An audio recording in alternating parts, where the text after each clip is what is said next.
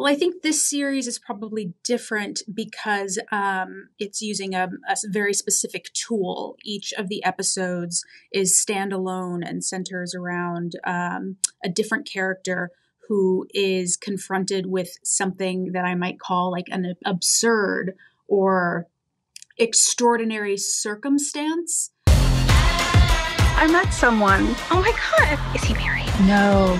Do you want dessert? Hello, Merritt. It is so wonderful to finally meet you.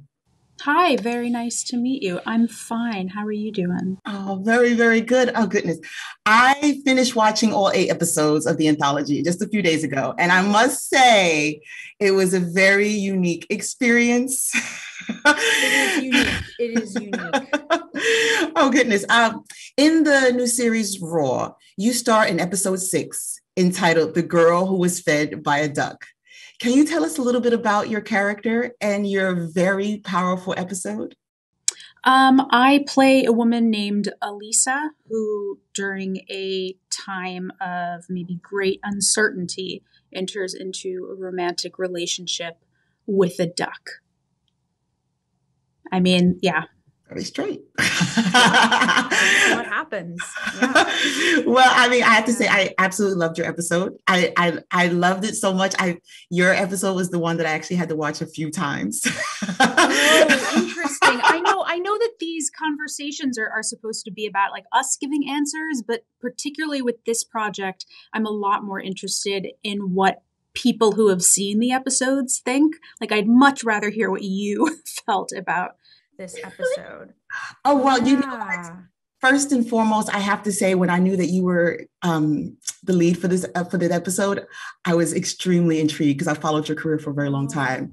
So I, w- I already knew that it was going to be um, very interesting and having a little bit of quirkiness to it because that's one thing I love about the characters you play.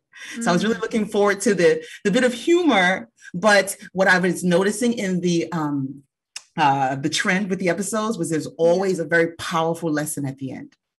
So fable, yeah, yeah. So I was I was looking for this, but I knew that it was going to have a bit of a twist and a bit of humor in it. So I you didn't, and you did not disappoint.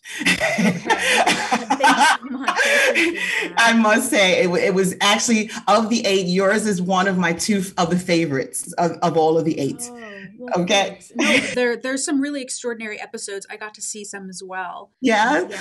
Yeah. Well, I mean, I what I have to say is what I what I without giving away too much, what I notice is that um, even in your episode, every episode ends with a very um, empowering um, kind of a epiphany or mm-hmm. coming into coming to terms with kind mm-hmm. of situation. So I just wanted to know how is the series Roar different from other feminist driven shows or shows about feminine female empowerment and the struggle to overcome adversity. How would you say this series differs? Well, I think this series is probably different because um, it's using a, a, very specific tool. Each of the episodes is standalone and centers around um, a different character who is confronted with something that I might call like an absurd or extraordinary circumstance um, something potentially like you could call it, sur- they're all different, surreal or unreal, that they use to highlight um, maybe an internal experience that's a lot more ordinary or real, you know, than the title would have us imagine. I can understand what you mean with that.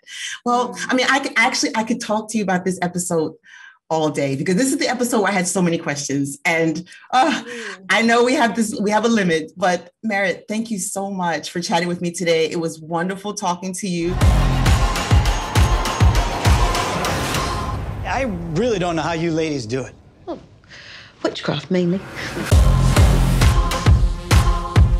Oh, if I am a ghost, why am I still getting cramps? Oh!